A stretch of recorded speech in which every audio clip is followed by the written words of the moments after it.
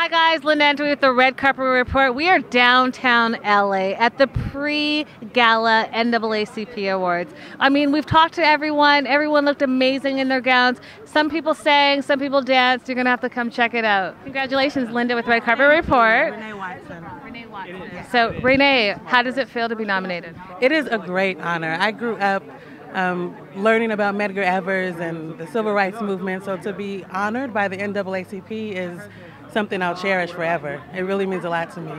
Now, is this your first red carpet? How do you feel?